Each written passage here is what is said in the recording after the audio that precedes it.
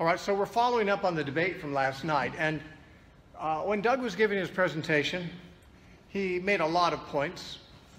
Uh, and I wrote down all of them because I wanted to respond to all of them. But the trouble is that uh, each of our presentations, initial presentations, were 20 minutes, and our response time for each was 10 minutes. And I wrote down, I haven't counted them, but it could be close to 20 points that he made that I wanted to respond to.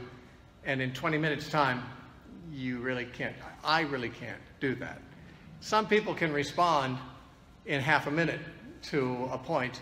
I'm generally not able to do that. Brevity is the soul of wit, Shakespeare said, and on those terms, I'm not very witty. I'm not very brief usually, and I'm not good at being brief. But I did want to have a chance to hit some of these points because a lot of what, what Douglas said were things that actually all Seventh day Adventists say. Uh, they were uh, some people might say talking points of Seventh day Adventism.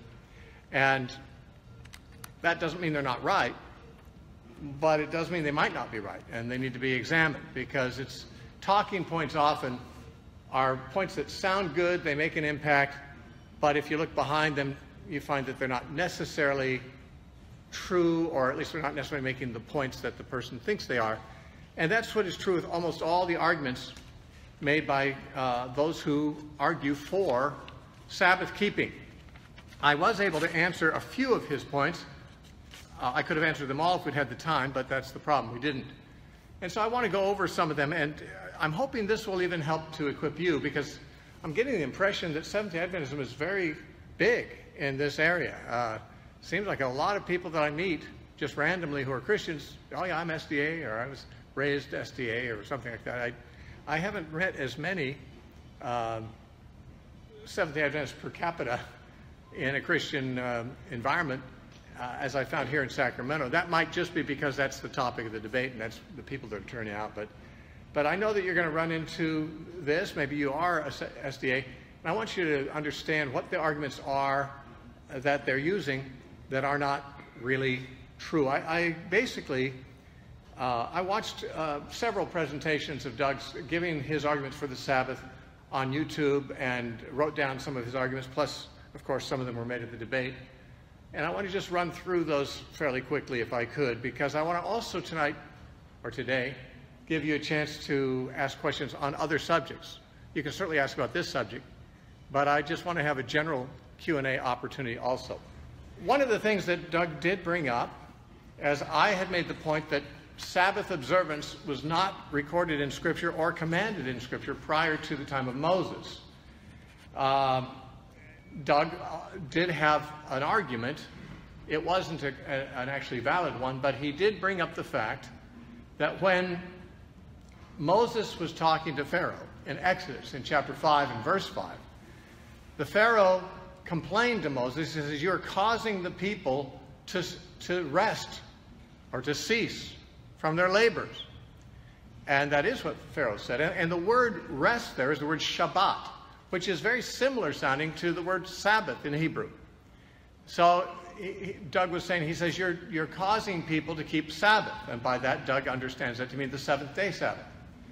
Uh, my point, first of all, was that the word Shabbat in Hebrew is sometimes used of the Sabbath. It's used 71 times in the Old Testament in the Hebrew, of which 13 times, it does refer to the Sabbath observance.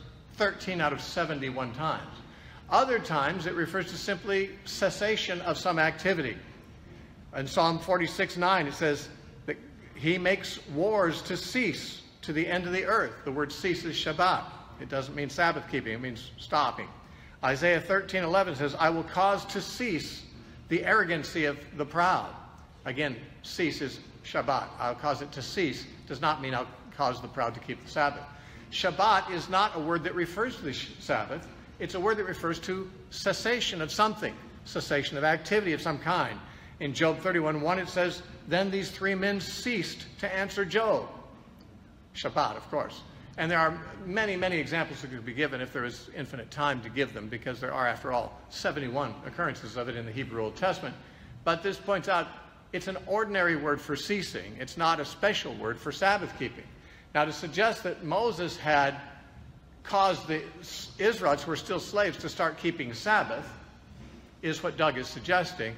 I don't think there's any support for that. They were still slaves. They didn't have the liberty to, to uh, keep one day uh, Sabbath unless they're rebelling against Pharaoh altogether, in which case they wouldn't work the other six days.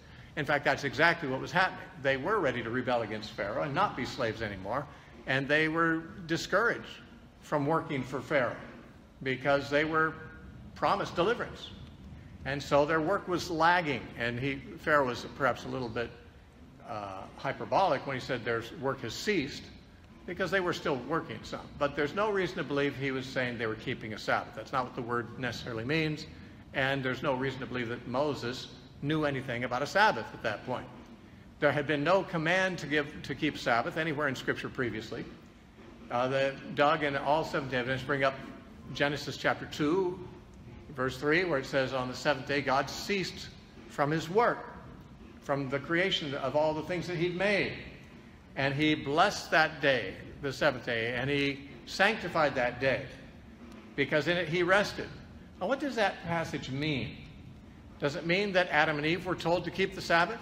If they were, we're not told so. And if so, then they had two things that could have caused the fall. One, eating of the tree of the knowledge of good and evil, the other, breaking the Sabbath. Because if God commanded them to keep the Sabbath, then that was really the first test not the tree of the knowledge of good and evil. And yet the Bible indicates that the tree of the knowledge of good and evil was the test. We're not told there was another one. Uh, God did not, as far as we know, tell Adam and Eve to keep the Sabbath. And I pointed out from Deuteronomy chapter 5 last night that Moses said that God did not give this covenant and did not give these laws to their ancestors, to Abraham, Isaac, and Jacob. They were given to the generation that came out of Egypt. The first command to keep Sabbath is really just a few days before they came to Mount Sinai in Exodus chapter 16. And that was when God gave manna. He told them, gather the manna six days and don't gather it on the seventh day. He didn't say why, but it was obviously anticipatory to the Sabbath law that was going to be in the law he was about to give them a few days later. He did not say, gather for worship on that day. There was no command to gather for worship in Exodus 16. It was just don't go out and gather the food. So it's putting it in their head there was going to be one day that they wouldn't do their ordinary work. But it was not communicating anything as a holy day of worship or anything related to that. Even when the Ten Commandments were given, there's no reference to the Sabbath being a day of special worship gatherings. It's there to keep it holy. The word holy means separate. Holy means unique, unlike other days. And in the Ten Commandments, when the Sabbath law is given, it only says, You shall not do your ordinary work on that day. That's how it's different from other days. Now, later on, yes, in the rest of the Pentateuch, you find from time to time references to that he wants them to gather on the Sabbath, and he wants them to gather on many other occasions too. Lots of days for gathering were dictated in the later part of the law. But gathering on the Sabbath, particularly, doesn't stand out in the Old Testament as something different than gathering on Passover or the, on the new moons or any other special days. There are lots of religious gatherings. However, none are mentioned in the Ten Commandments. Now, Doug believes that the Ten Commandments are the law of God because they're written on stone and they're permanent, he says. He believes that the other laws in the Old Testament are the laws of Moses given to him by God I don't think he's disputing that God is the author of those laws, but he believes that because they're not written on stone, they're not permanent. So when the New Testament says we're not under the law, Doug would suggest that means we're not under the law of Moses, which means the laws other than the Ten Commandments. The Ten Commandments, as he pointed out, and as is often pointed out, are, were written on stone. Most uh, Sabbatarians believe that means they're permanent for all time. Well, where are they today? Those stone tablets were lost hundreds of years before Jesus came. If they still exist at all, no one knows where they are. So they've been written on stone doesn't help us any more than if they'd been written on tissue paper. They're not around anymore. But does it mean that they are permanent in a way that the other laws are not? Well, it could mean that if the Bible said something like that. Unfortunately, though, for those who wish to make that point, the Bible doesn't say anything like that. It does not say that because they were written on stone, they were to be permanent unlike the other laws that were not written on stone. As a matter of fact, when Paul talks about the passing away of the law in 2 Corinthians 3, he specifically mentions the laws engraved on stones. Now, he doesn't mean only those, but Paul and the New Testament writers, and frankly the Old Testament too, didn't know any difference between the law that God gave on stone and the law that God gave through Moses' pen. It was all the law of God. It was the Torah. The Bible of the Old Testament was, of, of the Jews was the Torah and the prophets. That included the Ten Commandments. It included all the other writings too. But when Paul specified that the law was passing away and not permanent, he specifically mentioned that which was written on stone in 2 Corinthians chapter 3, verse 7. If the ministry of death, written and engraved on stones, was glorious, so that the children of Israel could not look steadily at the face of Moses because of the glory of his countenance, which glory was passing away, how will the ministry of the Spirit not be more glorious? For if the ministry of condemnation had glory, the ministry of righteousness exceeds much more in glory. For even what was made glorious had no glory in this respect, because the glory that excels. For if what is passing away was glorious, what remains is much more glorious. Now, Paul says there's something that's passing away and there's something that doesn't pass away, something that remains. The Seventh day Adventists would say, well, what passed away was the law of Moses written on parchment, but what remains is the Ten Commandments. No, the Ten Commandments are specifically indicated as something that passes away, the law engraved on stones. He even calls it the ministry of death and the ministry of condemnation. Not a very flattering term to use for the Ten Commandments, but it is the Ten Commandments he's talking about. He says they're written on stone. So the whole law, really, including the Ten Commandments, is what was passing away. It was part of the Old Covenant. The Old Covenant was made at Sinai. It included the Sabbath for the first time as a commandment from God. Never was a commandment given to Abraham about that. Abraham, by the way, was commanded to be circumcised. And so circumcision became a sign of the covenant that God gave to Abraham. And the Sabbath became a sign of the covenant that God made to Israel at Sinai. So in Exodus 31, God tells them several times, keep the Sabbath. It is a sign between myself and the children of Israel forever for all generations. He says it again in the passage. It's a sign. Keeping the Sabbath was a special sign of Israel's special status. This could not be a special sign of their status if everyone was expected to keep the Sabbath, because there'd be no distinction then between Israel and everybody else. There was no general expectation that Gentiles would keep the Sabbath. There was the expectation that they wouldn't and that the Jews would be unique in doing so. That was the special sign, just like Abraham being circumcised. Now, what's interesting is that the New Testament talks a great deal about circumcision not being necessary anymore. Galatians, Romans talk about the, the lack of necessity of circumcision. I'm under the impression that Seventh-day Adventists believe that circumcision is unnecessary also. I'm not sure. I've never heard them teach on circumcision, but my guess is that they don't enforce circumcision as a law on Christians.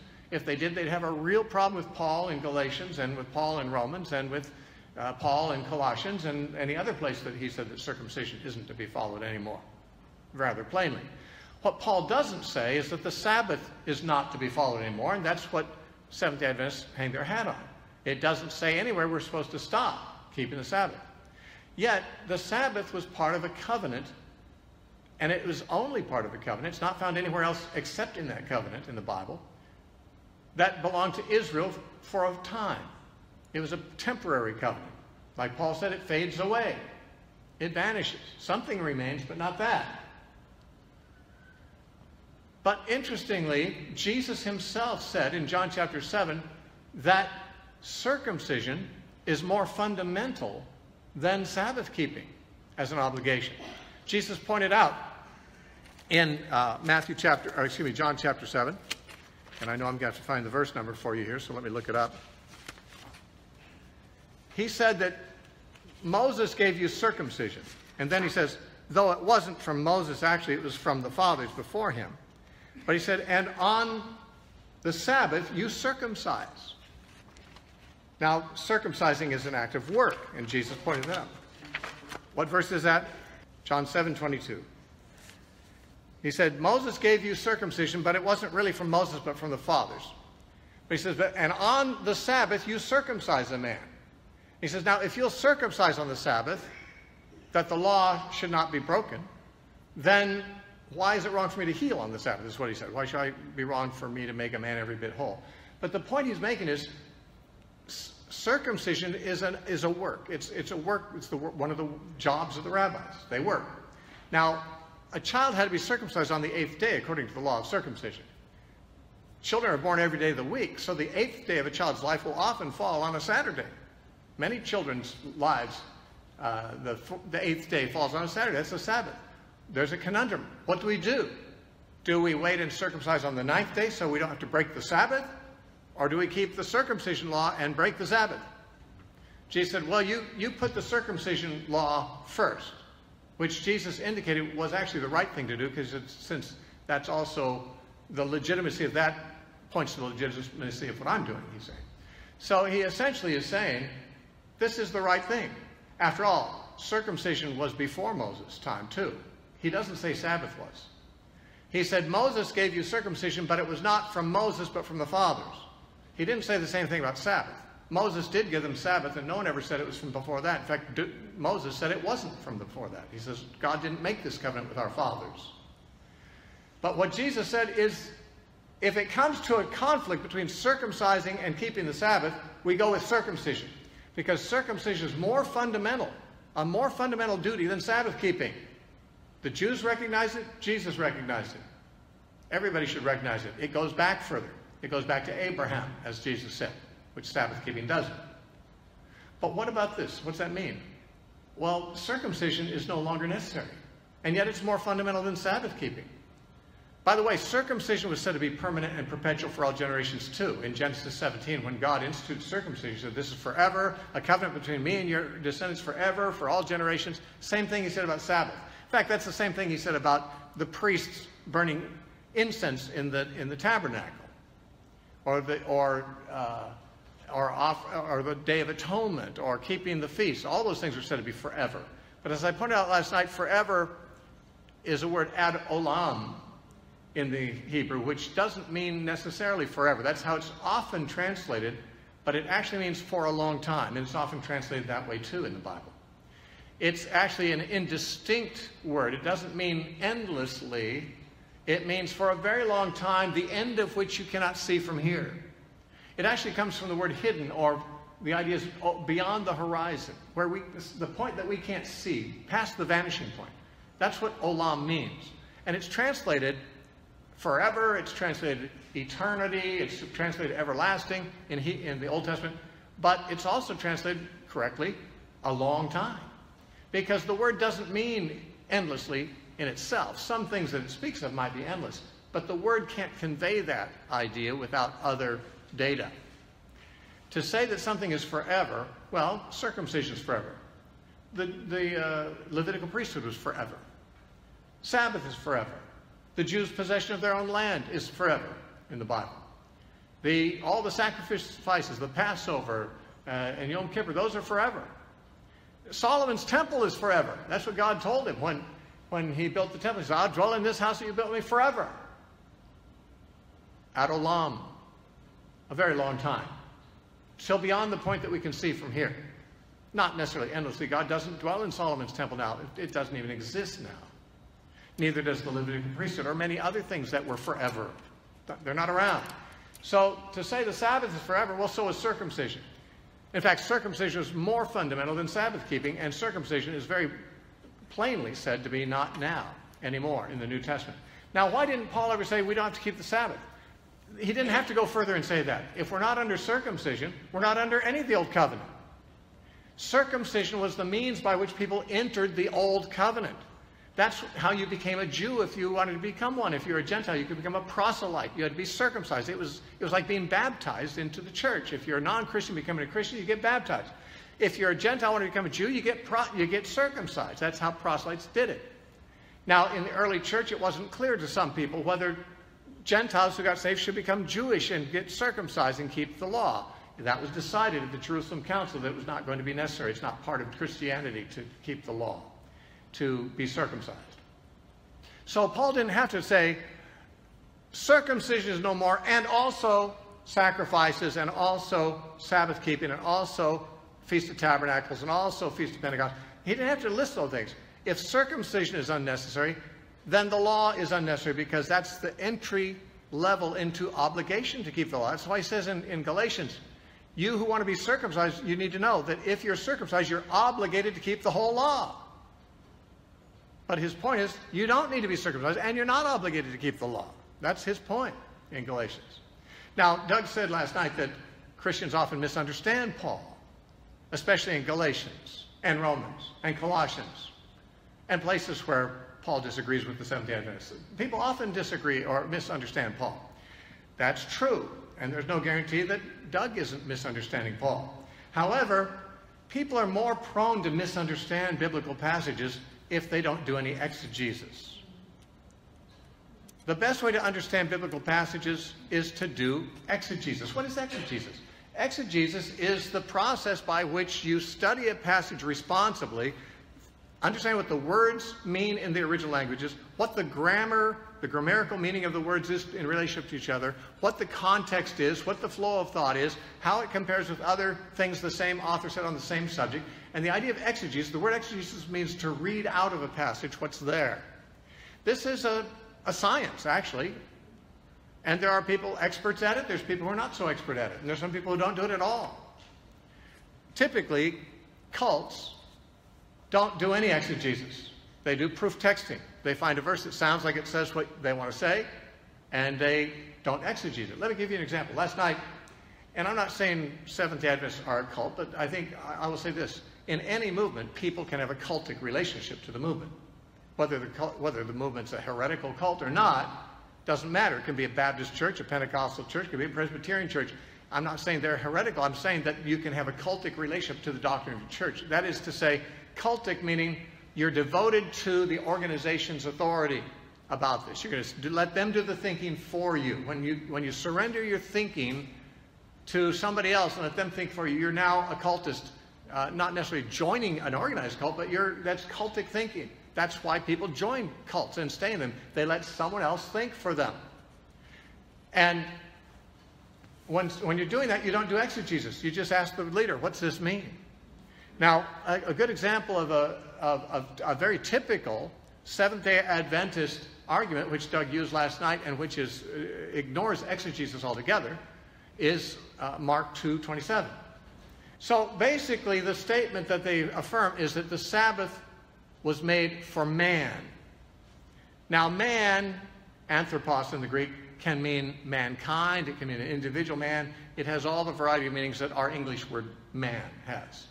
The Sabbath was made for man. Now, Seventh-day Adventists say it was made for mankind. And they mean mankind besides Israel, not just Israel. It was made for all mankind. He argued that every, not, not just Jews need rest, all people need rest. Well, that's true, and most people get rest, whether they keep the Sabbath or not. People tend to get rest uh, when they can and when they need it. Most people go to bed at night and get some rest that way. If, if they can, they take a day off maybe two days off. People get rest, if they can, when they need it. if they can't, they can't keep the Sabbath anyway, if you can't get a day off. The Jews working for Pharaoh, didn't, they were not given a day off. There are people today who are not given a day off, and so they can't. But that's okay. They'll get rest in whatever way they, they need to, otherwise they'll be overworked. I don't disagree with Doug that all people need rest, but not all people need a command from God to take one day, not just any day, but a special, a certain day, and only that day for rest that's not a needed thing for all people.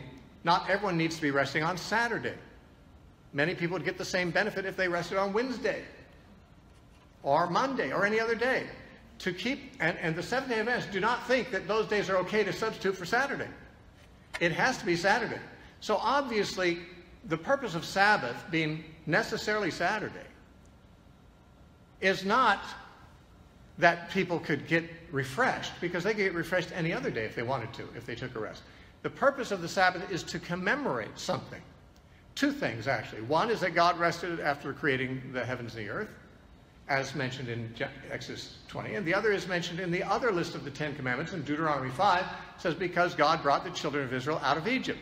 He says, therefore, the Lord your God commanded you to keep the Sabbath day. Now, therefore means because of that. God says, this is why I commanded you to keep Sabbath, because I took you out of Egypt. Okay, that sounds pretty specific. to Israel because I don't know of any other nation that God brought out of Egypt. He didn't bring me out of Egypt, not literal Egypt. Or you, probably. So the command to keep Sabbath says, I give you because I brought you out of Egypt. Because of this, for this reason, I command you to keep the Sabbath. This is very specific to them. So what does it mean when Jesus says the Sabbath was made for man? Isn't Jesus saying it's for all men? Well, that depends. What does the context suggest? What is the context anyway? This is the first rule of exegesis. What is being discussed here? What is the subject of the conversation? What is the flow of thought? How would this verse be best understood in terms of flow of thought? Well, what is going on? Jesus' disciples have been walking through the grain fields on the Sabbath. They've been picking grain and rubbing it in their hands, separating the wheat from the chaff, eating the grain and, and letting the chaff blow away. Problem with that was they were criticized for doing this on the Sabbath because that is technically harvesting and technically winnowing grain, separating the wheat from the chaff. That's work that's normally done on a large scale at harvest time. This was being done small scale as they walked through the fields, but it was still the same kind of work as would be forbidden on the Sabbath day. So the Pharisees said, Your disciples are doing what's not lawful to do on the Sabbath. Okay? So here's the issue Are the disciples entitled? Are they justified in doing this on the Sabbath or not? Now, Jesus answers. Now, I want to tell you this that most Seventh day Adventists would say the disciples were not really breaking the Sabbath, they were breaking the Pharisaic traditions about the Sabbath, because Jesus would never let his disciples really break the Sabbath. Well, that's, that's an argument of convenience to their viewpoint. It certainly is not true. They were not breaking the Pharisaic traditions, and if they were, Jesus could have said so. You know, there's another time that Jesus' disciples were criticized for not washing their hands. But that was just a tradition. And Jesus said, Full well, you Pharisees neglect the word of God to keep your traditions. Jesus was quick to point out when it was only tradition that was bugging the Pharisees. Instead, when he answered them, he said, Did you not hear what David did when he was hungry and the men with him?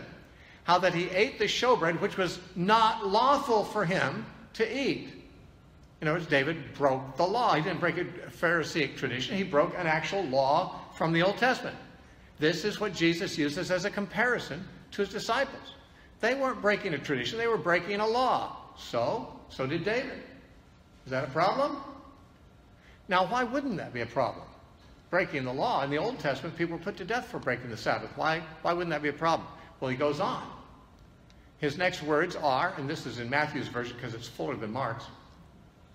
His next words are, Or have you not read that the priests in the temple profane the Sabbath day every Sabbath and are blameless? Now, here he says they are actually profaning the Sabbath day.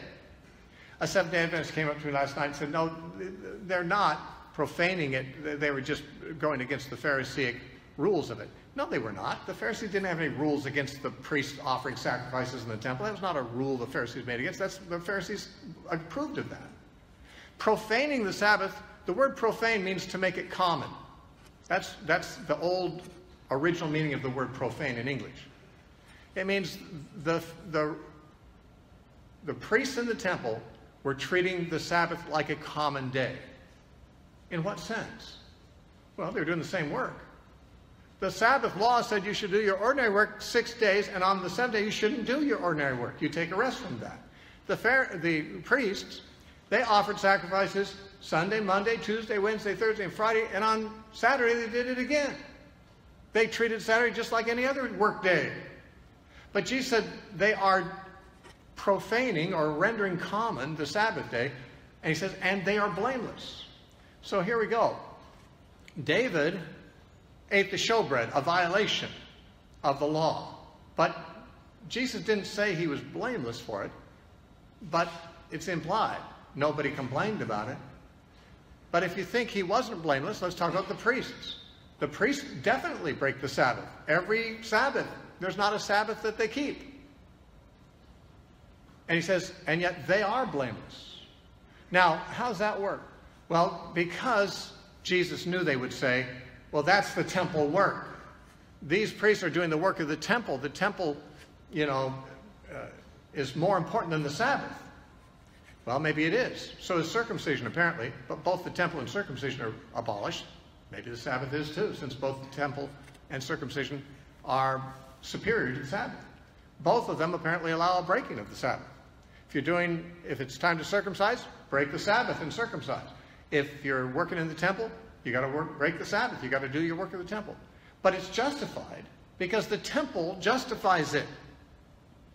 The importance of the temple justifies what the priests are doing on the Sabbath. And Jesus then says, And I say to you, one greater than the temple is here. That's himself. Okay, what's he gotten to? The, David broke a law. We're not told whether God held that against him or not, but it doesn't appear like God did, and even the Pharisees didn't, and Jesus didn't seem to be. But let's be more specific.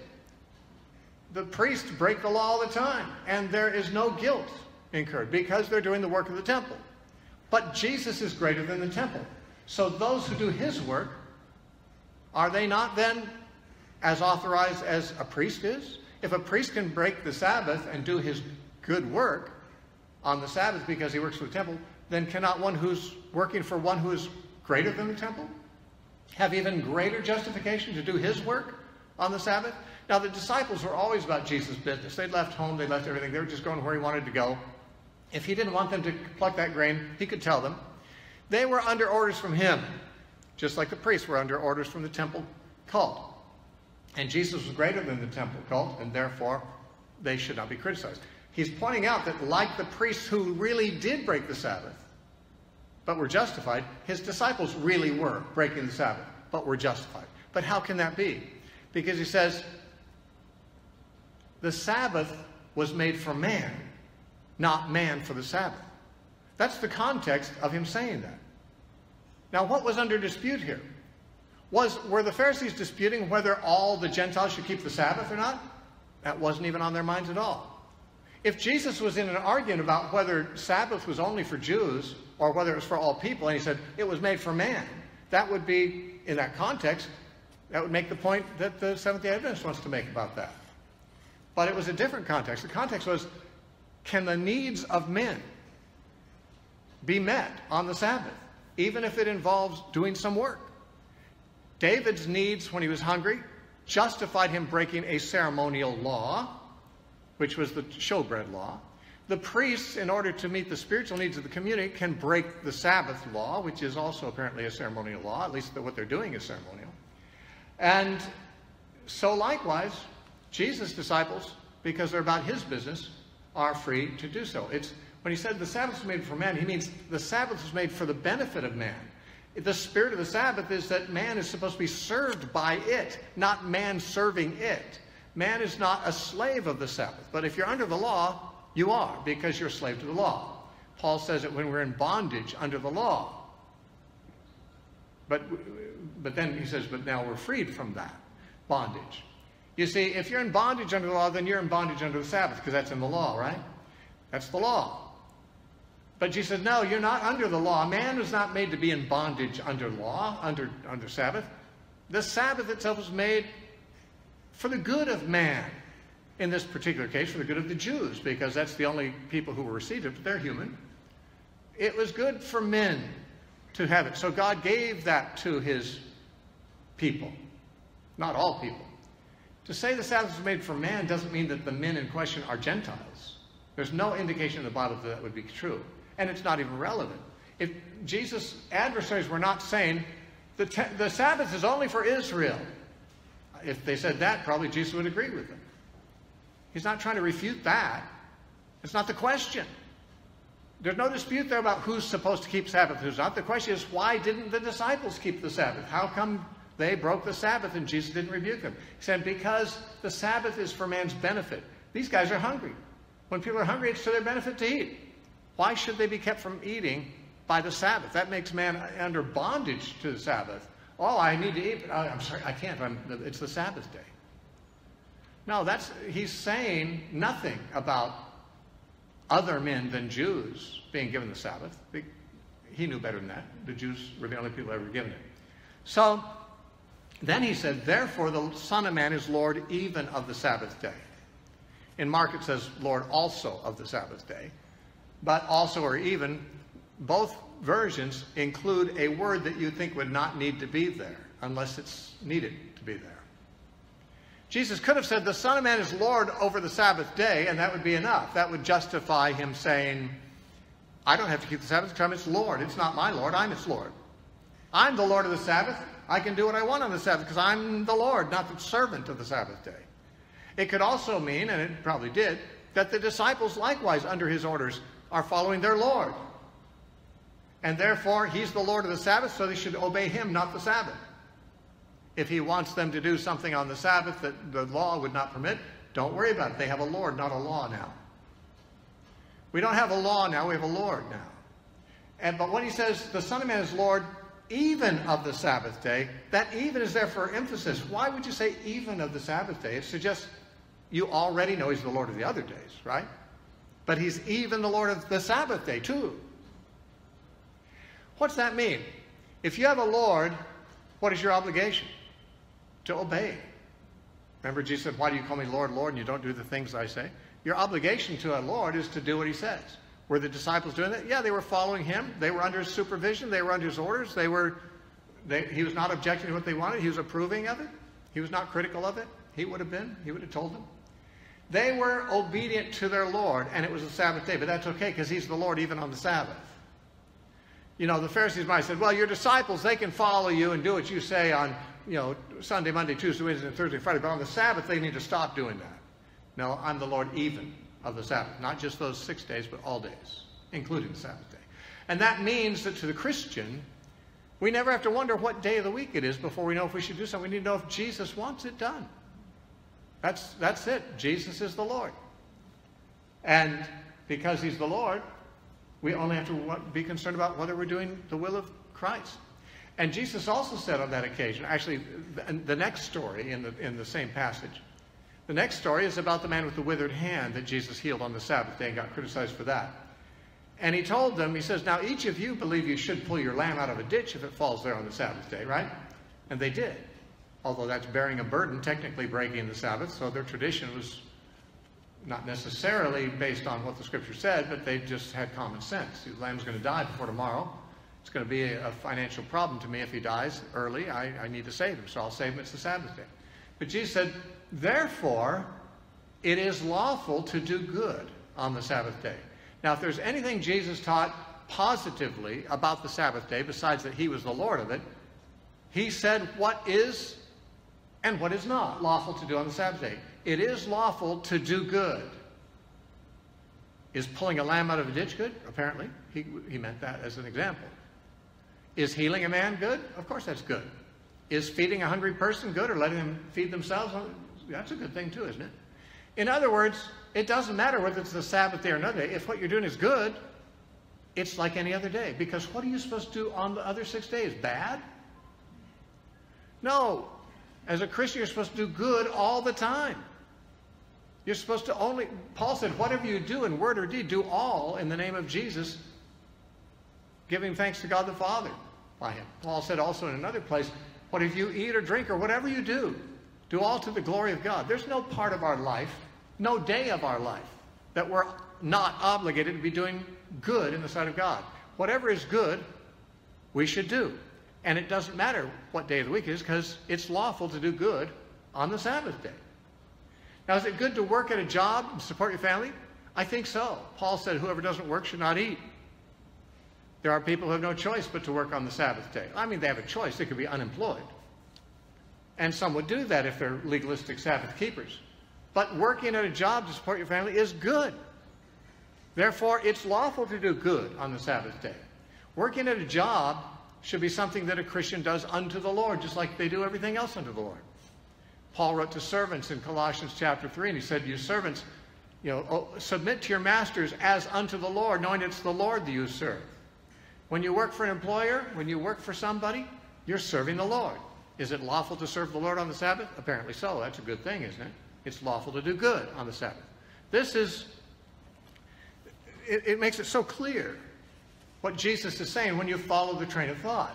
What is he discussing? He's discussing whether people should be disadvantaged in order to keep the Sabbath, or whether the Sabbath should be compromised in order to do good and have people serve. The, the Sabbath was made for the service of man, not the opposite. And he's not talking about which men. He's talking about the nature of the Sabbath, not the extent of the people to whom it was given. It was given to Israel for their benefit, not that they could benefit it. That's what Jesus says. So it's not making the point that they want to make. And, and if the point they are making is contrary to what Scripture says everywhere else. You find no command to keep Sabbath in the teachings of Jesus. Now, of course, we don't have everything Jesus taught recorded. You know, lots of things that we don't have recorded, but, and they could say, well, he, he did, of course, of course he would enforce Sabbath keeping in his teaching. It just didn't get on record. Well, there were a lot of times when he talked about the law. And even under the law, what they need to do, uh, Doug brought up the rich young ruler. He said, What must I do to have eternal life? Jesus said, Keep the commandments and you'll live.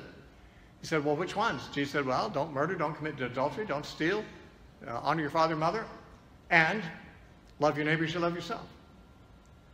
Now, as Doug, not alone, but all Seventh day Adventists I've talked to say, See, he was quoting from the Ten Commandments. No, he wasn't. Yeah, some of those laws were in the Ten Commandments. Love your neighbor as you love yourself is not in the Ten Commandments. That was quoted too. He didn't say keep the Ten Commandments.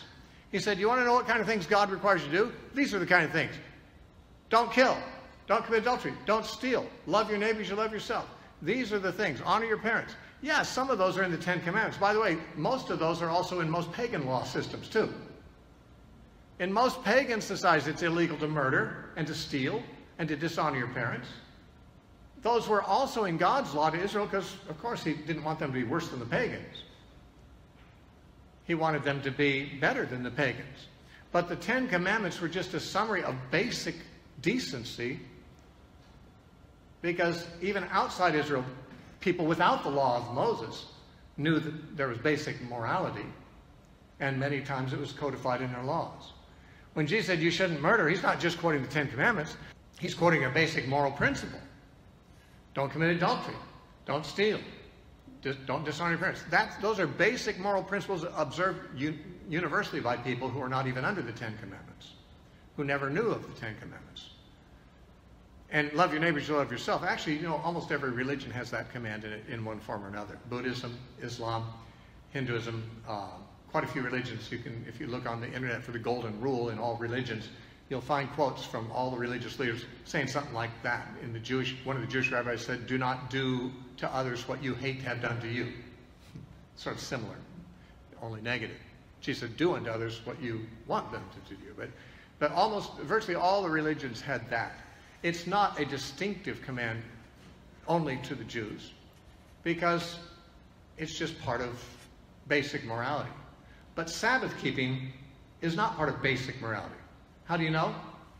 Find somebody who's a decent person, who wants to do what's right, and is conscientious, and has never heard the Ten Commandments. Ask him whether he thinks it's right to dishonor your parents. Of course not. Do you think it's right to murder? Of course not. Do you think it's right to kill, commit adultery, steal, any of those things? No, of course not. Bear false witness? No. How about resting on the seventh day? How should I know? If I've never heard of the Ten Commandments, I wouldn't have, I, it would never occur to me that resting on the seventh day was an obligation. It's not a moral thing. It's a ceremonial law like all the other ceremonial laws. They are taught. They're not instinctive. God, if God could have given the law differently, it's not moral. You see, God could never have said, thou shalt commit adultery, because adultery is evil. It's immoral. God could not say, thou shalt steal or bear false witness. That's bad stuff. God never could say that. He'd be compromising his own character. But could God say, I want you to keep every third Sabbath instead of every Sabbath? Yes. It wouldn't compromise anything in his character because it's not a moral issue. What days you keep special and do special things on are not basic moral principles. They are ceremonial, ritual things that are commanded for basically symbolic purposes. And uh, they serve a purpose. And Paul said that they were shadows until the time came that Christ is the substance of. He's fulfilled it. Jesus said all the law and the prophets were until John the Baptist, but now the kingdom of God has been preached since then. There's many references in the Bible that Christ is the end of the law for righteousness. The law was our schoolmaster to bring us to faith. But once faith has come, we're no longer under schoolmaster. These are the kinds of things the Bible says continually. And perhaps most enlighteningly, I think, because Seventh day Adventists sometimes say, well, if you're not under the law, how are you going to be righteous? Well, let me, let me read something to you.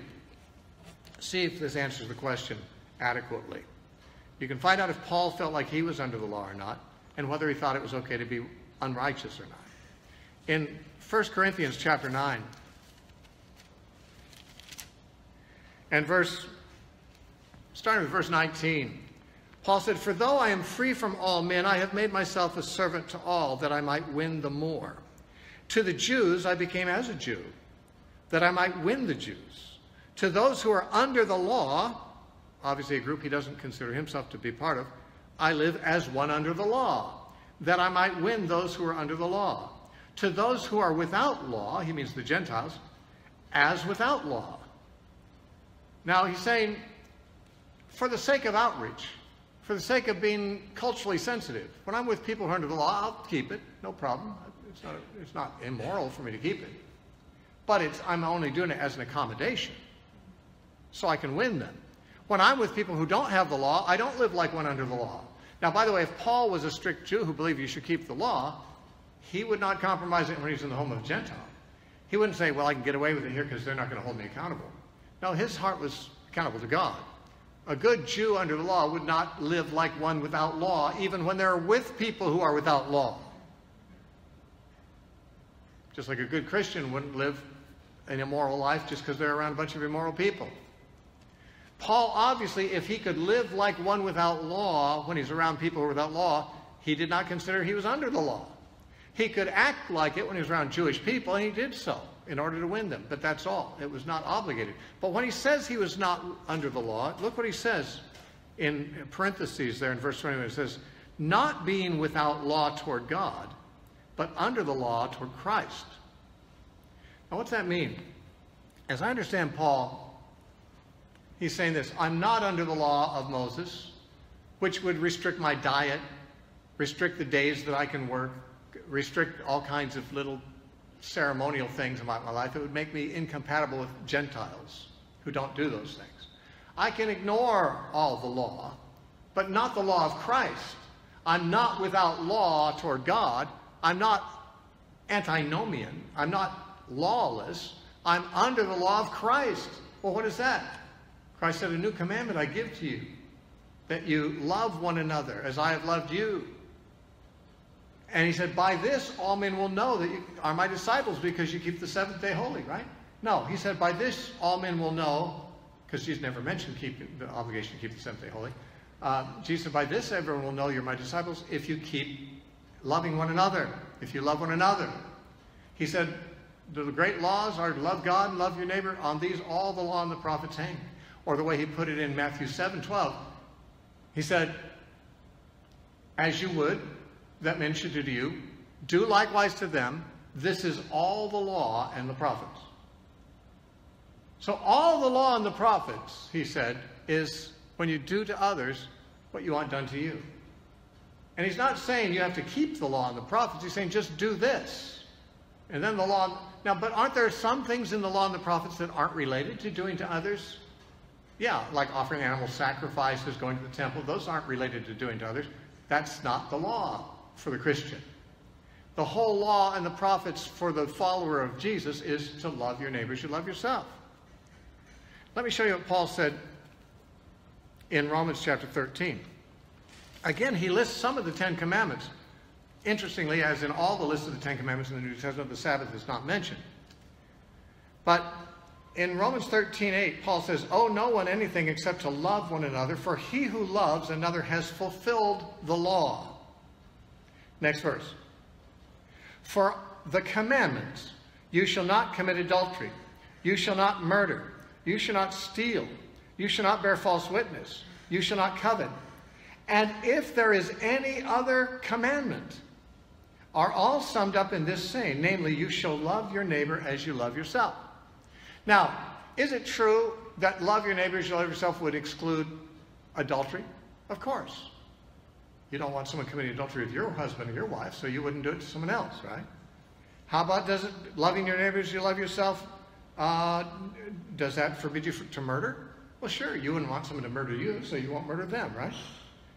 How about stealing? You should not steal. Is that yes? You don't want some people to steal from you, so you don't steal from them, or bear false witness, or covet what you have. In other words, all these laws indeed are summed up by the statement, love your neighbors, love yourself. How about Sabbath keeping? Resting on the seventh day. Is that, uh, is that something summed up by love your neighbors, you love yourself? I don't think so. I don't see how my neighbor would give a rip whether I'm resting or working on the Sabbath day. Doesn't affect him any. I don't care if someone else does. Why should he care if I do? In other words, he doesn't mention Sabbath keeping because it isn't included in love your neighbors, you love yourself. And he said, and if there is any other commandment, it's all summed up in this. There's, as far as the commandments Christians are concerned, it's the moral commandments that we're concerned about.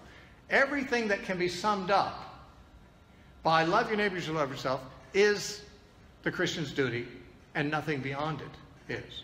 If there's any other commandment besides these, it's got to be that's it's not it's not a commandment otherwise. Now the Seventh Day Adventists say in Revelation, the people who are saved in the last days are those who keep the commandments of God. It says so in Revelation chapter 12, it says so elsewhere that they keep the commandments of God, the people who, who are saved in the book of Revelation. I'm not sure why they say that's the end times, because they, they hold a historicist view of Revelation, and they believe that the papacy is the beast, and that the papacy ruled for 1,260 years, they said, because it's 1,260 days in Revelation, and that that ended in the 1840s. So how can the Pope give us, um, how can the beast give a mark hundreds of years after the papacy has ended in the 1800s? Uh, the, the, the, mark of the beast certainly must have must apply to something that happened done by the beast during that 1260 days. And yet they believe those 600, 1260 days are past, and yet there's a future last days, and then we're going to get the mark of the beast, which is keeping Sunday. Now, all of that is weird to me because there's nothing in the Bible to suggest that interpretation of Revelation or of the mark of the beast. But they do have it right that the people who are saved in Revelation, and this is true of all times, are those who keep the commandments of God. And it says, and who have the testimony of Jesus Christ. Well, people who have the testimony of Jesus Christ do keep the commandments of God. But see, they think it's the Ten Commandments. Where in the Bible are the commandments of God limited to the Ten Commandments? If you look up the word commandment in the Old Testament, it's used of almost every law God gave inside and outside the Ten Commandments. Everything's called a commandment of God. Why limit it to the ten? Furthermore, why should the Old Testament commandments of God be taken to be the ones that are followed by those who have the testimony of Jesus Christ when Jesus gave a new commandment? And when Jesus said, Go and make disciples, teaching them to observe everything I have commanded you. It's the commandments of Christ, the law of Christ that we follow. Paul said, I'm not under the law, but I'm not lawless because I'm under the law of Christ. And that's, of course, the commandments that the people of God have always kept. And I know the church hasn't always, the institutional church hasn't always kept Jesus' but they're, they're not the people of God. The people of God are the people who do keep Christ's commandments and have his testimony. Uh, perhaps enough on that point. I want to just take a few other verses I want to have question and answer because it's going to get late on us here. Um, Jesus said, it's impossible, or he said, it's easier for heaven and earth to pass away than for one jot or tittle of the law to fail. He said that in Luke 16, and Douglas actually quoted that. Well, I don't believe the law failed. I believe the law served its purpose. If you aim at a target and hit the target, you didn't fail. What did the law do? It was a schoolmaster to bring us to Christ. And Christ has come, and we have come to Christ. Therefore, it didn't fail. It succeeded. Mission accomplished. It was there to serve a purpose, just like a babysitter is there to serve a purpose. But sometimes the babies live long enough to outgrow the babysitter. The babysitter didn't fail when they're discharged. They finished their job. The law didn't fail. When Jesus said in Matthew 5, Do not think that I came to destroy the law and the prophets. I did not come to destroy it, but to fulfill it. For I say, Not one jot or one tittle of the law shall pass away until all is fulfilled. Now, what would all be? That'd be all. Okay, so how much of the law remains until all of it is fulfilled? All of it. Not one jot or tittle of it will pass until all of it is fulfilled. Okay, so has the law been fulfilled or not? We got two options here. The answer could be no, the law has not been fulfilled. Therefore, every jot and tittle of the law, the sacrifices, the temple, the, the holy days, the dietary laws, everything's still binding because not one jot or tittle will pass until it's all been fulfilled. And if it has not all been fulfilled, then all those laws are binding. No one really thinks they are, except some really extreme Hebrew roots kind of people. And they're not the people I'm addressing right now. Seventh-day Adventists don't believe that all the jots and tittles of law have to be kept, only the Ten Commandments. But Jesus said not one detail of the law will pass until it's all been fulfilled. Uh, is, are the Ten Commandments part of the law? I believe they are. So have they all been fulfilled? Well, either they are fulfilled, or we have to keep all the jots and tittles of every law in the, in the Bible. Now, I don't know very many people who would take that latter point. But the only point that's alternative is that all the law has been fulfilled. And what happens when the law has been fulfilled? It's no longer needed. It, it's no longer, doesn't serve the same purpose. Its job is done.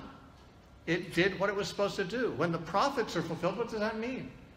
Matthew, who records the statements of Jesus, doesn't leave us any doubt. Says Jesus did this that it might fulfill what was written in the prophets. This. He did this that it might fulfill what was written in the prophets. This what Jesus did fulfilled what the prophets anticipated, brought them to their completeness. How about the law? He came to fulfill the law and the prophets. The, the law anticipated Christ. He fulfilled it. That's why Paul says Christ is the end of the law for righteousness to all who believe. The law is not needed anymore. God has written his laws in our hearts. Now, the Seventh day Adventists say, what laws? Certainly the Ten Commandments, right? No, not certainly the Ten Commandments. The laws he writes in our hearts are the ones that Jesus taught.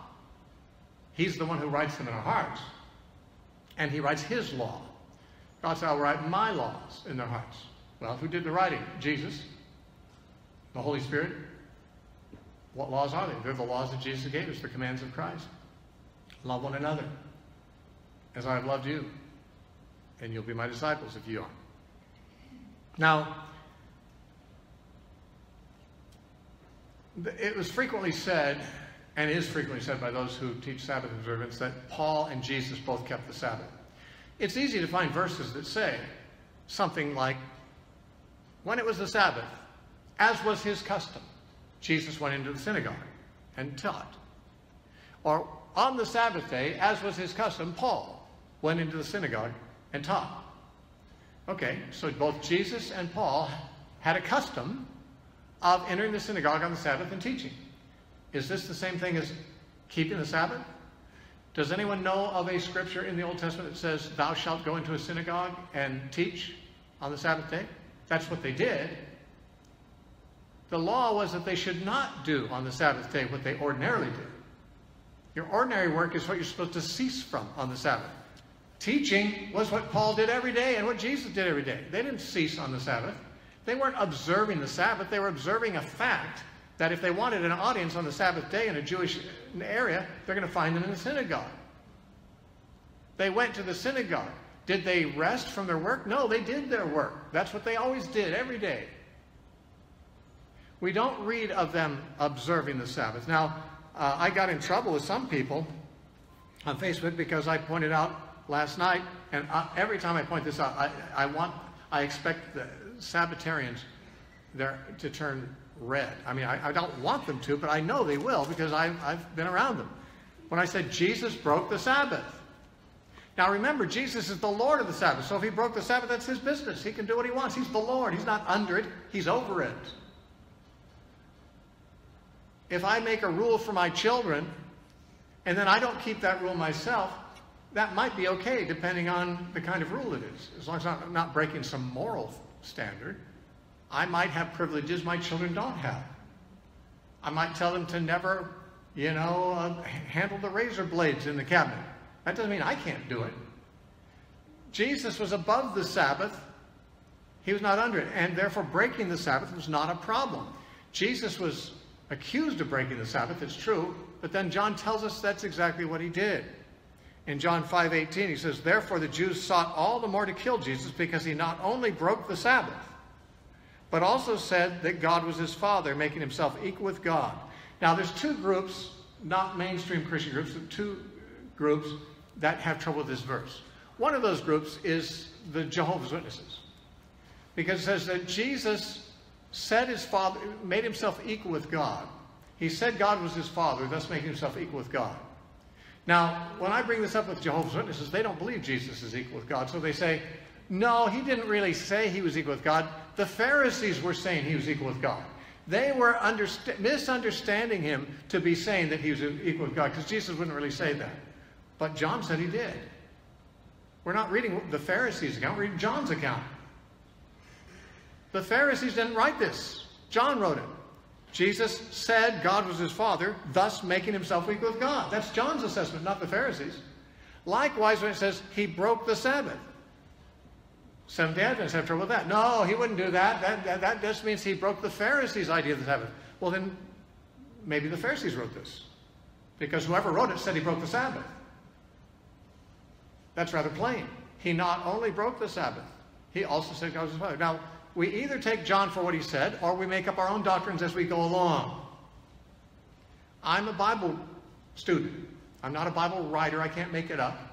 I can't, I can't add to it or subtract it, but I can see what it says. Jesus broke the Sabbath. Now, in the context, that's not a problem. They, uh, they blamed him for doing it, and his answer was, just before this, he said, My Father works hitherto, and I work. And that's what bugged them, because he said that he had the same privilege his Father did. His father breaks the Sabbath, doesn't he? Does God stop working every Saturday? Better not pray then, he's not on duty. Sorry, the doctor is out on the Sabbath. God doesn't work Sabbath. Crazy. Jesus said he does. He said, My father works hitherto, and I do. In other words, I'm like my dad. He works every day, I work every day. He did, in fact, break the Sabbath. That shouldn't be a problem. Jesus said that the priests break the Sabbath and they're blameless. There are people who can break the Sabbath, even under the law, could break the Sabbath and be blameless. The priests among them. Jesus said so. But certainly the Lord of the Sabbath can do so. There's, we're not, this is the thing that someone on Facebook, a, a SDA, wrote. They said, I listened to that debate until he said that Jesus sinned. and I couldn't listen any longer. I said Jesus sinned? She was talking about this statement. The Bible says he broke the Sabbath. It doesn't say he sinned. What it says is he broke the Sabbath and it wasn't a sin. That's the point. The Pharisees were calling him sinner because they thought he needed to keep the Sabbath. He was saying, I don't need to. My father doesn't need to. I don't need to. It's not a sin. My father's not sinning when he works on Saturday, and neither am I. He did break the Sabbath. Now, he didn't break any moral commandments. He never committed adultery or murder or stealing or false witness or coveting. Why? Those are moral issues. Sabbath? Not so much. Sabbath is more ceremonial. That's why Jesus compared it with David eating the showbread. It was comparable. His disciples breaking the Sabbath were doing something unlawful. David eating the showbread was doing something unlawful. Both were ceremonial laws. Neither of them were breaking a moral law. Paul compared Sabbaths with food, dietary laws, which are also ceremonial. In Colossians 2, 16 and 17, let no one judge you concerning what you eat or drink, or observance of festivals, new moons, or Sabbaths. Now, Seventh-day Adventists say, and Doug said this, although I didn't bring this scripture up last night, he expected me to, because it's the main one that people usually bring up against people like him, but he was ready for it, but I didn't bring it up. I had more important things to bring up. But he said what they always say. Sabbaths there doesn't mean the Saturday Sabbath, the, the Lord's Sabbath. It doesn't mean the weekly Sabbath. The Sabbaths there is referring to the Sabbaths that were attached to the festival weeks, the, the, the pilgrim festivals. You know, Passover week, Pentecost week, uh, Tabernacles week. There were, each, each week began and ended with a day that had to be treated as a Sabbath, whether it was on a Saturday or not. It had to be treated as a Sabbath. They're even called Sabbaths sometimes in the Old Testament. The beginning and the end of ritual weeks were sometimes called Sabbaths. So he's saying this is not talking about the Saturday Sabbath. This is talking about the ritual Sabbath, and the, not the law of God in the Ten Commandments, but the law of Moses about these festivals. No. Not likely. He already mentioned festivals before he mentioned Sabbaths. He says, Don't let anyone judge you whether you keep festivals, that's the yearly, or new moons, that's every month. The first day of every month was new moon. Or Sabbaths, that's every week. He, he lists the festivals of Israel by their frequency. First the annual, then the monthly, then the weekly. And by the way, if you go to um, the Old Testament and find many times the festivals are listed in the very same way, in either ascending order or descending order of their frequency. The, there'd be no reason for him to say festivals, new moons, and those Sabbaths that are attached to the festivals. He already, that's included in festivals. So he doesn't have to be redundant. He's saying yearly things are festivals, monthly things are new ones, weekly things are Sabbaths. And he compares them with what?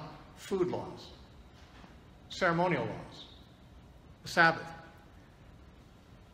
In Romans 14, 5, and Doug brought this up again last night. I didn't, but uh, it's another one of the famous ones that are usually brought up against Seventh-day Adventists. He brought up uh, Paul saying, one man esteems one day above another, another man esteems every day alike. And he went into great detail to say the people who esteemed one day above another is not referring to people keeping the Sabbath, because Paul made it clear it wasn't necessary to keep one day above another. He said, let everyone be fully persuaded in his own mind. Was, it's okay if you keep one day above another, or if you don't. So, he so he's not talking about the Sabbath, he's talking about these ceremonial laws. Well, but the, the contrast is keeping every day alike. Obviously, if you're keeping every day alike, you're not keeping a Sabbath day. The whole idea of the Sabbath is you don't keep every day alike. There are six days that are not holy and one day that is holy. That's not alike. But Paul said some Christians do keep every day alike. So obviously they're not keeping a Sabbath. And he says, well, let everyone be fully persuaded in his own mind. Now, if he had said, some people think it's okay to commit adultery and some people don't, but let everyone be fully persuaded in own mind, we'd have to tear that out of the Bible. Paul's a heretic. He's saying it might, be, might have liberty to commit adultery. Jesus taught against adultery, not against Sabbath breaking. But Sabbath, holy days, none of that is necessary. You can keep them if you want to. I don't judge Seventh-day Adventists who keep the seventh day. That's their business. They can do that if they want to. I don't criticize. What I criticize is them saying that I'm supposed to do it. What I criticize is them saying that I can't be fully persuaded in my own mind that keeping every day alike is superior to keeping one day. Instead of keeping one day holy, how about keep seven days holy? That's seven times as good. Doug referred to that as getting a 10% discount on the law because he's assuming we're supposed to keep the whole Ten Commandments, and if we take one of them out, we're reducing our obligation, getting a 10% discount. I'm not reducing an obligation, I'm elevating it. My obligation is to keep every day holy. The law only required one day, and a few others during the month and so forth. In other words, I'm increasing my obligation by a factor of seven. I'm not giving myself a 10% discount. And by the way, it's not me who's making the decision anyway. I'm following what Jesus and Paul taught. So there's no discount here. There's only a greater obligation. Under the new covenant, we have to be more holy, not less holy, than under the Old Testament.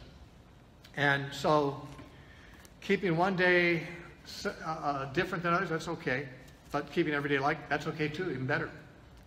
Because you can keep every day holy. I've had Sabbatarians say, where in the Bible does it say that you can reduce the Sabbath down to the level of all the other days? It doesn't. That'd be a crazy thing to say. What the Bible teaches me is I have to elevate every day to the level that the Sabbath is. I'm holy day and night 24-7. That's, my, that's the requirement. I don't keep one day holy. You want to keep one day holy? Well, then what do you do on the other days? Unholy things? It's lawful to do good on the Sabbath. What do you do the other days? Bad things? Actually, some Christians do. I, I, won't say Sabbatarians do that. I don't know that they do or don't. But some Christians don't seem to think they have to be religious any day other than Sunday or Saturday or whatever their worship day is. But I understand Christianity to be a full-time commitment to Jesus Christ, 24-7. I don't have a day off. All right? Now, just a couple other things that I want to say, bring up that they bring up that most people might not know how to respond to. Isaiah chapter 66. This will be brief. Isaiah 66 is brought up. They say, even in the new earth, or in heaven, they would say, we're still going to be keeping the Sabbath. So it must be permanent, right? Well, where do they get that? They get it from Isaiah 66, verse 23, where it says, And it should come to pass that from one new moon to the, another, and from one Sabbath to another, all flesh shall come and worship before me, says the Lord. Okay, they say, see, going to have to keep Sabbath forever, so we should keep it now. It must be permanent. Why? Because from one new moon to another, and from one Sabbath to another, all flesh will come and worship before me. First of all, I don't believe that's talking about heaven. You can if you want to. People interpret Isaiah different ways. Uh, I interpret it by the quotations of it in the New Testament. And when you see how many times the New Testament writers quote Isaiah chapters 60 through 66, this, this block of chapters that are all about one thing in Isaiah, you'll find that they always apply it to the church age, not to heaven. About six or seven or eight times, the New Testament quotes from this section of Isaiah and always apply it to the age of the church. So that's what I would do rather than make up something more creative and say it's about heaven. I think this is about now. Okay, but I won't, I won't go to the mat about that. I'm not concerned about the eschatology in this. I'm concerned about the question of interpretation. What's it mean from one new moon to the next and from one Sabbath to the next, all flesh will come and worship before me? Does that mean they're going to worship on the Sabbath? If so, then on the new moons also. By the way, Sabbath keepers don't keep new moons. At least the ones I know don't. If this says that Sabbath keeping is an eternal law, then so is new moon keeping, because it mentions both of them in the same exact way that if you're going to gather for worship on the Saturday, you better gather for worship the first day of every month as well. Now, some people might not object to that, but most Sabbatarians don't think that's obligatory. This passage would prove one as much as the other. Both are mentioned the same way.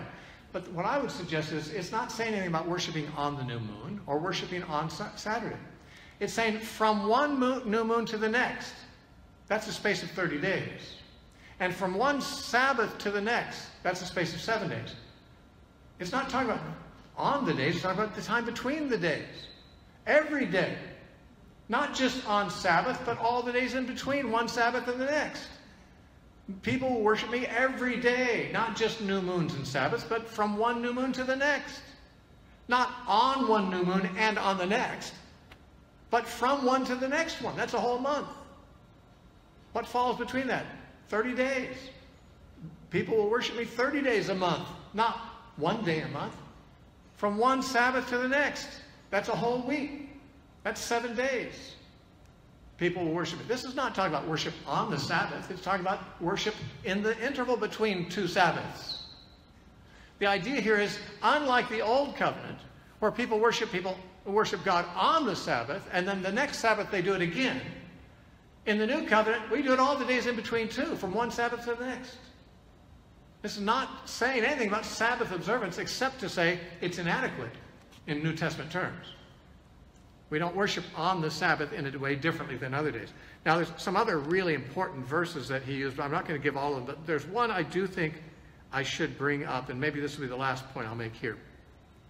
It's in Matthew 24, the Olivet Discourse, which again, they seem to think is talking about the end of the world. As near as I can tell, the Olivet Discourse is talking about the destruction of Jerusalem in 70 AD, but let's give them what they're saying. Let's say it is the end of the world. Jesus said, But pray that your flight not be in winter or on a Sabbath day. Right? Matthew 24 20. He's telling his disciples that when they see the danger coming, they should flee from Jerusalem. Now, the danger that is coming Matthew and Mark refer to it as the abomination of desolation, which is a term hard to understand. And that's why so many people apparently misunderstand it. Luke made it easier. Luke paraphrased it, recording the same statement where Jesus said, When you see the abomination of desolation, flee. Luke says in Luke 21 20, When you see Jerusalem surrounded by armies, flee. Same statement paraphrased. Abomination of desolation is the Roman armies coming against Jerusalem in AD 70. Jesus said in the passage, this generation will not pass before this happens. So we know it happened in the first generation of Christianity. And it did. He was spot on. 40 years after he said it, it happened. Within that generation, just barely. So Jesus, that's one of the most remarkable, accurate prophecies, one of the few that has actually an exact time frame given by the speaker for fulfillment. And Jesus, that's the most remarkable fulfilled prophecy in, in the Bible, probably, because of the exact date or, or exact time frame for it that isn't usually given. But he does say this, and it doesn't matter whether we're talking about the fall of Jerusalem or sometime in the future. He tells his disciples, pray that your flight would not be in the winter or on the Sabbath day. So they say, see, Jesus expected his disciples to still keep the Sabbath day. Okay, so where in the law does it say that you cannot flee on the Sabbath day? Where, where's, that, where's that forbidden? Well, they, they had the Sabbath uh, journey uh, restriction. The sa Sabbath journey restriction was you could only walk one mile from your home on the Sabbath. Now, there were ways to get around that. If on Friday before sundown you, you knew you're going to walk more than a mile on Saturday, you were allowed to go and, and put two days' supply of food one mile from your house. And if you wanted to, that'd be called a home. If you go another mile, you could put another two days' supply. You could do that every mile increase. Then you could, on the Sabbath day, go one mile from one house, then another mile to each place where there's two, two days' worth of food was a, a house. So, so the Pharisees had this all worked out, the rabbis. But the point is, this whole idea of a restriction on how far you could go on the Sabbath is not in the law. It's a rabbinic tradition, and Jesus had no respect for rabbinic traditions. He made a distinction between the laws of God and the tradition of men. The Sabbath day's journey law was not in the Bible. It was in the Talmud. It was rabbinic. Why would Jesus tell his disciples, well, you're going to have to flee from your life, but you're going to be out of luck if it's a Sabbath because I'm going to make you only go one mile. You're going to be in trouble then. You're going to have to keep the rabbinic tradition of the Sabbath uh, journey even though your life is at stake. Now, it's okay to eat when you're hungry on the Sabbath, you can't flee for your life, right? What's Jesus thinking? Well, he's not thinking about any restriction on movement in the Sabbath that's legal. He's thinking in terms of practicality. People in Jerusalem want to flee on the Sabbath, they're going to find it hard. The gates are shut. They can't stop and buy provisions along the way. All the shops are closed. Sabbath is a very inconvenient time to try to get out of the city of Jerusalem. Better to get out some other time. Obviously, he indicated you will flee, whether it's on the Sabbath or not. Just pray that your flight won't have to be on a Sabbath. He's not saying you have to keep the Sabbath. He's just saying if you have to do it on the Sabbath, that's going to be a harder thing. Pray. It's like winter. Is, is, it, is it unlawful to run in winter? No, it's inconvenient in winter. He's talking about pray that it won't be too inconvenient. You're going to have to flee for your life. Pray it won't be a winter or a Sabbath day because those are really inconvenient times. You'll have a hard time getting out of town if there's snow on the ground or if, if the gates are shut. There's nothing here that suggests that Jesus expected his disciples to keep the Sabbath. And if he did, and if this is saying that, then he expected them to keep the rabbinic traditions about the Sabbath, the very thing that Seventh-day Adventists themselves say Jesus came to reform. Because they don't believe Jesus came to do away with the Sabbath. They, he came to reform it, they say. That is, Jesus wants us to keep the Sabbath, but not all those rabbinic traditions about it. That's the Seventh-day Adventist teaching about it. So, so if they're going to use that passage to say Jesus wanted to restrict the disciples' movement on the Sabbath day because they, had to keep Sabbath, well, then he's supporting the rabbinic traditions rather than reforming it. And if the Sabbath is made for man, not man for the Sabbath, how inappropriate would it be to say, well, you're going to die if you stay here, but it's the Sabbath, so just sit here and die? Otherwise, you could flee. I mean, God would really like for you to flee, but it's the wrong day of the week. He just, he's not for it today. You know? What does that, what kind of thinking is that about the Sabbath? It's not clear thinking. It's not biblical thinking. And it certainly is not New Testament thinking.